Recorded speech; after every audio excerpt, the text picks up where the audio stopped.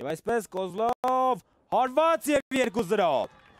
Արարատը արդեն ավելի համոզիչ առավելությամբ կգնա ընդմիջման,